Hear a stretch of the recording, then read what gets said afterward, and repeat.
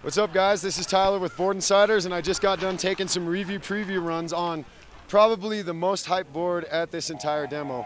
Literally, everybody I see and their grandmother wants to go out and try this board. And if you can see the 3D profile and the weirdness that's going on the top sheet, you might be able to see why. So what the idea is behind this is if you can see, they take that normal swallowtail shape, and what they did is fill it in with a little bit of a reverse spoon right here. So it allows that swallowed back end to drop, but not drop as far as the classic swallow does. But they took and put that on both sides and made this a true twin board.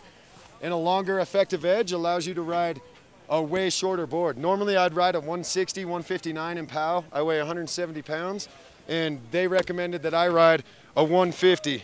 One thing I can say about this board and the biggest difference between any other powder board I've ever ridden is it literally is a true twin powder board. You go down a board regular, or go down the run regular in some steep and deep POW, then go switch, and you can literally feel no difference. It is the first true twin POW board that I've ever ridden.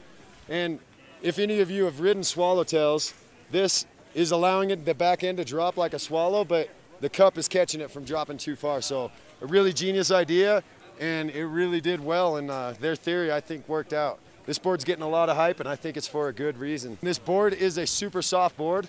The tip and tail don't really have a lot of stability in them. They just want to flex up and out. You can butter on it like no other, but if you tip too far back, it might wash out.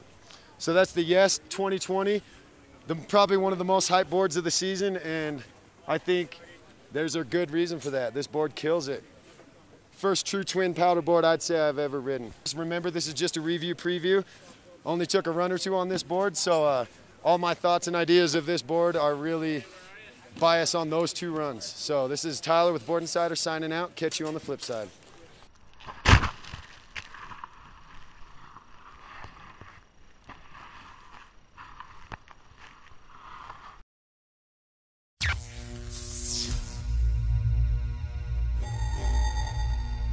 For the latest snowboard reviews, check out boardinsiders.com.